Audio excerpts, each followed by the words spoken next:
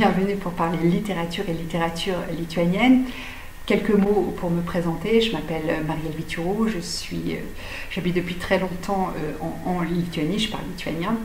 Et je travaille surtout comme journaliste, comme correspondante pour Radio France Internationale et Courrier International.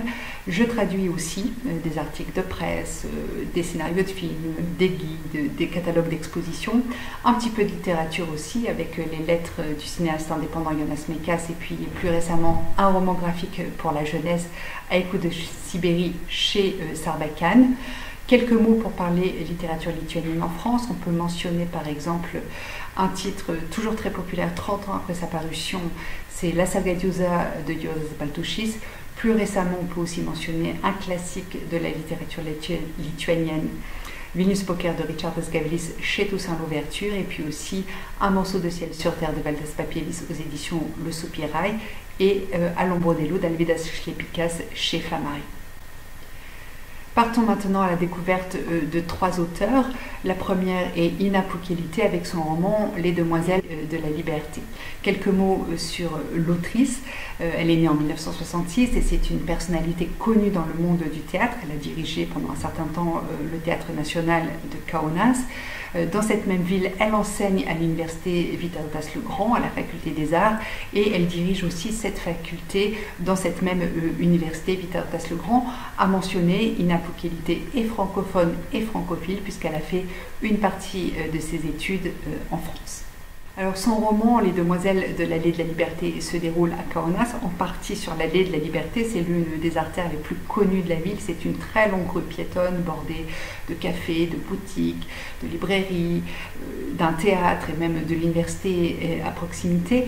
Kaunas est, la deuxième ville du pays. Pendant l'entre-deux-guerres, c'était la capitale provisoire de la Lituanie puisque Vilnius était occupée. Et donc elle a connu pendant cette période un essor économique, culturel, politique sans euh, précédent. Et cela euh, se transparaît en partie dans l'architecture de la ville. Alors ce roman, il met donc en scène euh, là, deux jeunes femmes pendant cette période de l'âge d'or de Kaunas. En 1923, Zofia la polonaise et Rachel la juive font connaissance dans les rues de cette ville en effervescence et euh, au fil des pages, on suit leur aspiration au bonheur, la poursuite de leurs rêves, leur amitié, alors que la menace de la guerre pèse de plus en plus sur leur vie et sur leur pays. Alors aujourd'hui, Kaunas est connue pour être une ville très lituanienne. C'est plutôt Vilnius qui est présenté comme une ville multiculturelle où cohabitent de nombreux groupes ethniques.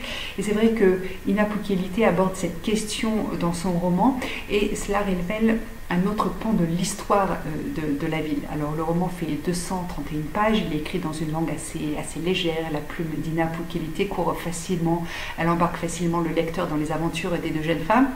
Certains tout de même trouvent sa prose un petit peu trop euh, simpliste, mais euh, le livre a un aspect historique qui est quand même assez euh, intéressant.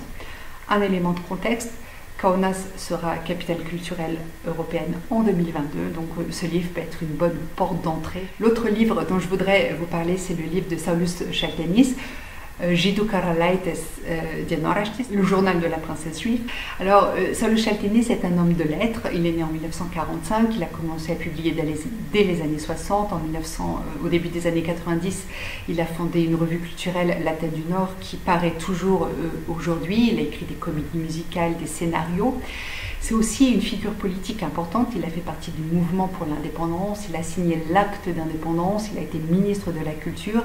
Et jusqu'à encore euh, récemment, euh, il, euh, il avait des, fonctions assez importantes au sein du Parti conservateur. Ce roman, publié en 2015, est le dernier roman publié de, de, Saulus Chaltenis et il retrace dans son livre l'histoire d'Estera Levinsonaite, une jeune juive de Lituanie qui a survécu à la Shoah par balle comme elle était pratiquée en Lituanie par les nazis.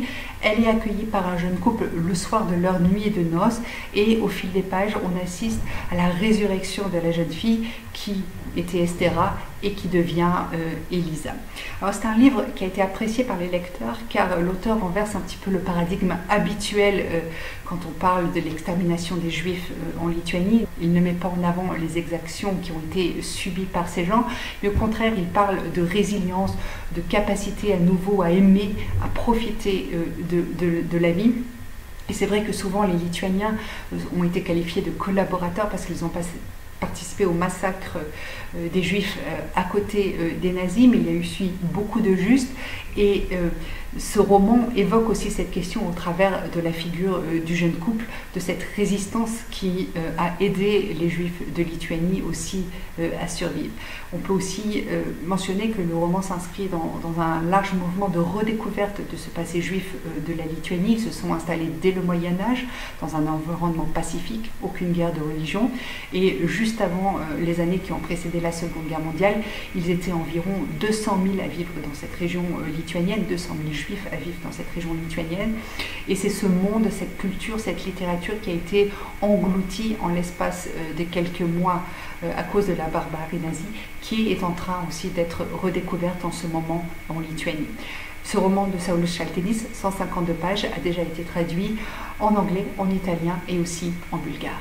Le dernier roman dont je voudrais vous parler, c'est le roman de Sigitas Parulskis, Tris Secundes d'Angos, Trois secondes au ciel, d'abord publié chez Baltos Lankos, puis ensuite réédité chez Alma Litera. Quelques mots sur l'auteur. Euh, Sigitas Parulskis est né en 1965, c'est un, auteur prolifique, nouvelles, pièces de théâtre, poésie, romans. Il a publié dès le début des années 90, il n'a jamais cessé. Euh, c'est aussi l'un des auteurs euh, lituaniens les plus traduits vers des langues étrangères.